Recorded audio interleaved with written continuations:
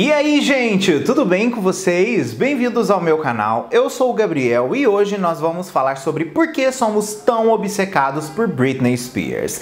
O intuito desse vídeo aqui é passar por cima de alguns tópicos relevantes que fazem com que as pessoas se conectem com Britney, né? E isso assim é uma coisa que já passa mais de 20 anos de carreira que ela tá aí ativa desde quando ela lançou Baby One More Time, e a relevância dela e amor dos fãs continua sendo a mesma. Então, essas coisas aqui que a gente vai analisar hoje definitivamente definem o porquê dessa obsessão e paixão louca que nós temos por essa artista tão maravilhosa. Mas antes da gente começar aí, já quero aproveitar e convidar você que não é inscrito aqui no canal, por favor, se inscreve, vem fazer parte da nossa comunidade. Aqui eu falo de música pop, de outros assuntos relacionados e vai ser incrível ter você aqui com a gente.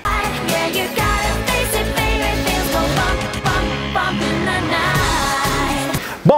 separei quatro tópicos para a gente poder discutir, porque eu acho que esses quatro tópicos são o que são de verdade, assim mesmo, fundamental para dizer por que a gente se identifica e ama tanto Britney, tá? Vamos começar aí no primeiro tópico pra gente discutir isso, que é o catálogo musical, né? O catálogo da Britney é dito como um dos melhores quando se fala no quesito pop. Inclusive, muitos críticos definem o catálogo da Britney melhor que o da própria Madonna, né, que é a rainha do pop. E eles dizem isso exatamente pela grande coesão musical que ela tem e também o grande número de faixas lá do B que são tão boas quanto as faixas lá do A, que acabam virando singles dos projetos, né?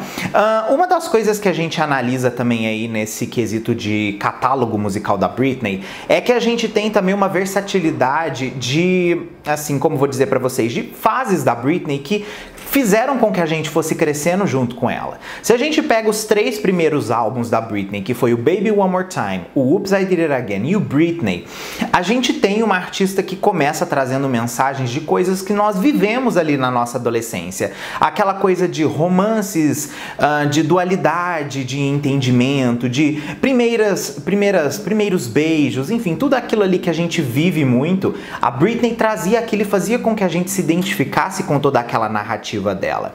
Isso se multiplica mais uma vez no Oops, I Did It Again, que fala mais uma vez dessas atitudes, mas no disco Britney ele já coloca um pouco mais de maturidade, começa a lidar com coisas mais assim de começo e escolhas da vida adulta que os fãs dela acabaram passando também nessa fase, mais uma vez fazendo com que eles se caracterizassem muito com o material. Essa coisa do artista crescer junto com o público é fundamental para conseguir construir uma relação estável entre eles. Quando a gente analisa, por exemplo, o In The Zone, que é o sucessor do disco Britney, a gente já tem a Britney completamente adulta. E isso é muito importante porque fez com que um público mais maduro também se conectasse à arte dela.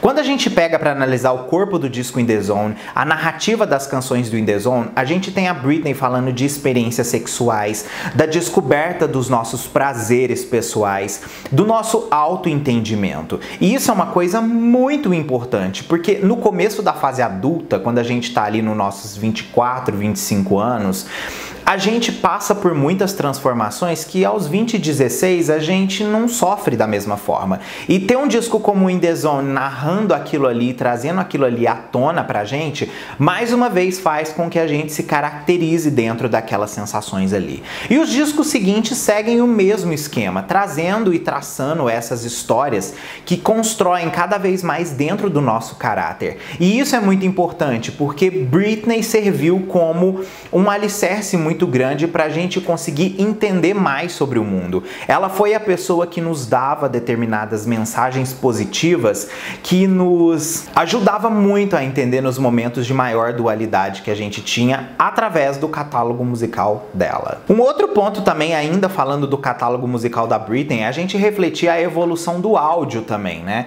A gente tem a Britney com três álbuns totalmente teen pop, de repente a gente tem um álbum que mescla coisas mais alternativas, depois ela vem com um álbum bem urban, depois ela volta com um álbum bem iluminado, pop, colorido, né? Depois de tudo que ela passou na vida dela depois da era blackout. Depois nós temos ela se aventurando no electropop, depois ela vai pro EDM, depois ela volta explorando gêneros de hip hop e música adulta de uma forma que a gente nunca imaginou que ela ia. Infelizmente, o último trabalho musical dela até então, que foi o Glory, mas mesmo assim um dos discos mais memoráveis quando a gente fala da carreira e catálogo de Britney. Em segundo lugar aí, a identificação com o público, né? A Britney narrava muito das nossas vidas e não somente no aspecto de música, a própria vida pessoal da Britney, todas as coisas que ela enfrentou, tudo que ela buscou para conseguir conquistar a carreira dela, reflete muito na gente também e faz a gente ter empatia por aquilo ali. Isso é uma coisa bem interessante, gente, porque muitas vezes a gente vê as histórias de vida das pessoas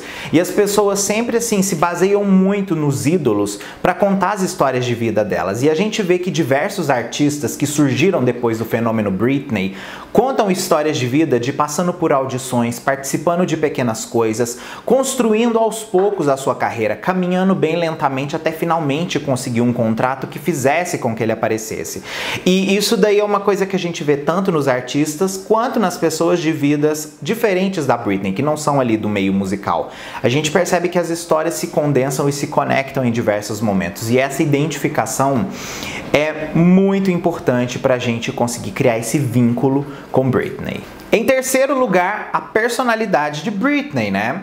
A Britney é uma pessoa meiga, é uma pessoa fofa, é uma pessoa gentil, é uma pessoa que faz a gente se sentir bem por estar perto dela.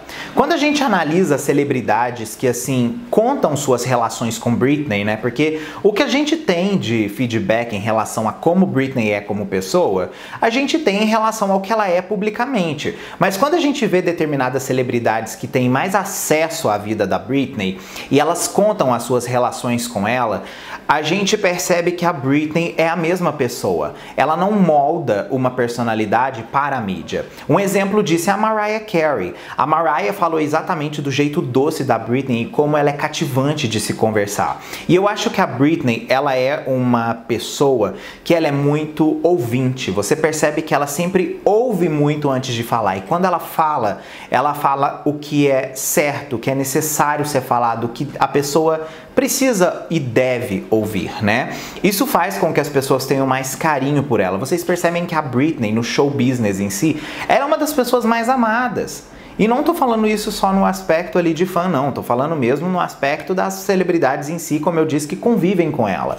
Pensa, gente, quantas pessoas aí que mediaticamente são expostas e tem essa coisa de viver essas duas vidas, né? A gente pega a Paris Hilton, por exemplo, que é amiga de Britney. A Paris Hilton fez o estereótipo da loira burra para se promover por basicamente 10 anos. Ela fala disso no documentário dela. E a Britney nunca precisou fazer isso para poder encaixar-se em algum tipo de estereótipo da sociedade para conseguir ter visibilidade. O talento dela sobressaiu, o carisma dela sobressaiu. E isso é uma coisa que é inegável quando a gente fala no aspecto de personalidade que faz a gente se apaixonar por Britney. E o último tópico aí que eu acredito que esse seja o mais importante do porquê somos tão obcecados com Britney, né?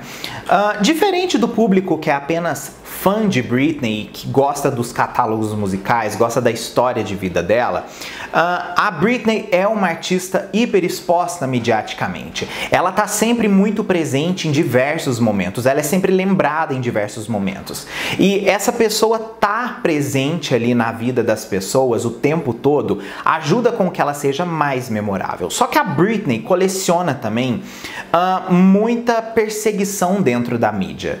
Entende? A Britney foi uma pessoa que ela teve a sua vida pessoal sendo invadida por paparazzi e outras coisas ao ponto dela literalmente assim começar a enlouquecer por causa daquilo, porque aquilo ali realmente tirava a paz dela. Isso é uma coisa que é fato, gente, não é factoide, é fato. A Britney não tinha paz quando ela estava no auge da carreira dela. Ela era perseguida por um oceano de paparazzis e, e assim, e no passado em Hollywood, uma foto de um artista em um determinado momento em um determinado shot de câmera, aquilo ali podia ser vendido por até um milhão de dólares. E a Britney com a cabeça raspada foi um exemplo disso. A foto dela foi vendida por quase um milhão de dólares. Então vocês pensam, a pessoa que fazia aquilo mudava de vida totalmente por simplesmente fotografar a celebridade. Então eles invadiam tudo que era possível para poder ir atrás da pessoa. E isso gerava cada vez mais tabloides e outras coisas. E a América em si, gente, é um público que consome muito, mas muito, mas muito mesmo da imagem negativa das celebridades. Se vocês analisarem aí a Hollywood desde o início mesmo ali da sua fase de, como vou dizer para vocês assim, ascensão e criação de estrelas, a gente vai ter Judy Garland sendo perseguida e sendo hiper exposta, a gente vai ter Marilyn Monroe tendo a sua vida invadida, a gente vai ter Michael Jackson, entendeu? A gente vai ter diversas pessoas pra gente poder citar aqui que tiveram as suas vidas invadidas e hiper expostas por paparazzis e também por tabloides Muitas vezes contando histórias mentirosas e absurdas que as pessoas não tinham onde averiguar que é verdade. E isso é uma coisa que os americanos consumiam tanto, mas tanto, que essas empresas pagavam qualquer coisa por shots assim do pior tipo que fosse para poder criar os seus tabloides tendenciosos. Gente, com toda certeza fortifica o porquê das pessoas serem tão obcecadas por Britney Spears.